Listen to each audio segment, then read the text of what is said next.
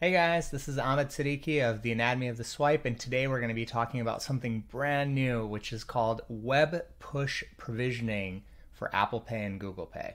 So, historically, the only way that you can actually add a card to Apple Pay or Google Pay is either by getting the physical card in the mail and typing it in and adding it right there, or what you can also do is you can go into certain apps and do what's called a app-based provision where there's a button in the app that says add this card to Apple Pay.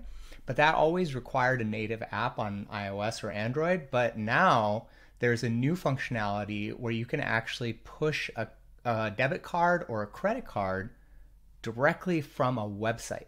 This is brand spanking new stuff that I saw at the Money 2020 conference, um, powered by Marqeta and I'm going to walk you through actually how this works, which is really, really awesome. So in this example, I actually received a little card uh, with a QR code on it, and all I did was I just opened up my camera on my iPhone, and I just went ahead and scanned it.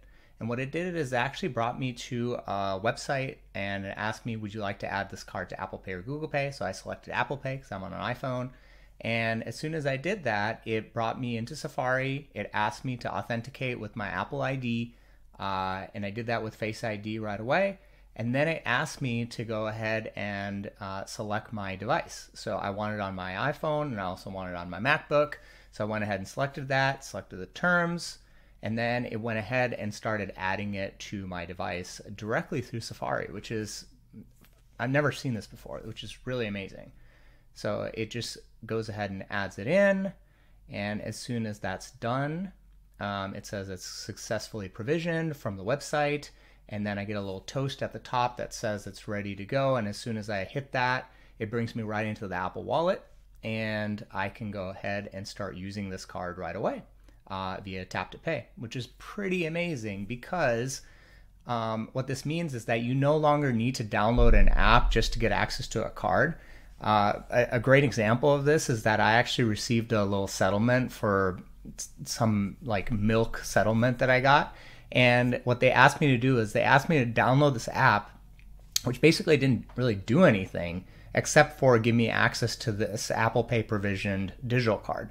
So now you don't even have to do that anymore. No more need to download these apps for these specific one off purposes. Uh, you can just go ahead and do a little QR code go ahead and uh, create a little website and you can push a, a, card directly from there. So pretty amazing functionality. I think it's going to open up a lot of use cases for a lot of people. Um, so again, if you are interested in this kind of technology, I know that Marqeta has it. So if you are issuing cards through Marqeta, talk to your uh, rep.